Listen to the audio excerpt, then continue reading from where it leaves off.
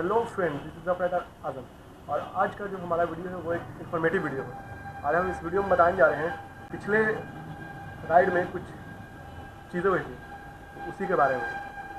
तो उसमें ये था कि मतलब हम लोग रोड पे जा रहे थे तो बहुत सारे लोग मिल रहे थे, जो कि फोर लाइन वगैरह पे थे, और बहुत सारे कार वगैरह वाले जो थे बस वगैरह वाले पास नहीं दे रहे थे। बाइकर को मतलब वो पूरा लेन छेक लेते थे, आगे से मतलब कवर कर लेते थे। हम लोगों को रोड से उतरना पड़ता था। तो पहले आप वीडियो देख लें, उसके बाद फिर बात करते हैं। बहुत ज़्यादा प्रॉब्लम है। फ़र्स्ट इस पे आदमी बहुत ज़्यादा क्रॉस करते हैं। जानवर वगैरह भी बहुत मिलता है। यहाँ पर भी भीड़।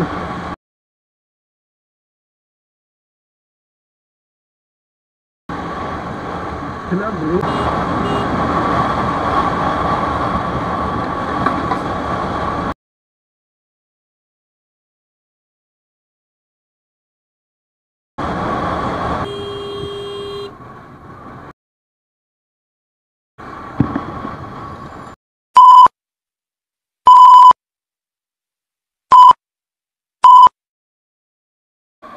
हाँ आ जाओ। देखिए।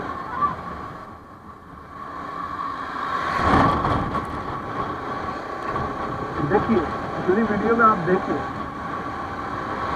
देखिए। देख तो आप लोगों ने वीडियो देखा?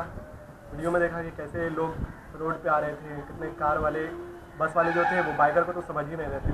हाल ही में बेंगलोर में एक इंसिडेंट हुआ था।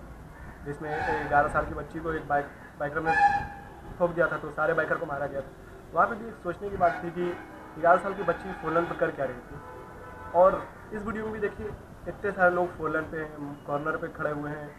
मतलब एक साइड का रोड, वो आदमी लोग खड़े होकर के रोक रखे हैं। तो यहाँ पे ये चीज़ होता है कि अगर बाइक या कोई भी कार स्पीड मारी है तो वो धक्का मार देगी। लोग बस समझेंगे कि नहीं, इसने धक्का दे दिया, इसको मारो।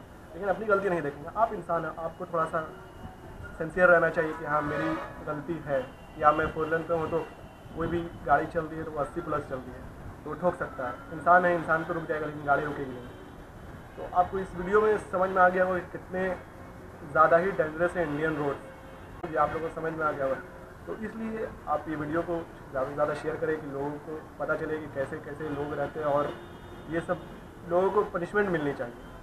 तो आई होप आपको ये वीडियो पसंद आया पसंद आया तो लाइक करें कमेंट करें और शेयर करें ताकि ये वीडियो सारे लोग देखें और समझ में आ सके कि इंडियन रोड रियली में डेंजरस है। तो खुद की सेफ्टी ज़्यादा ही सही है।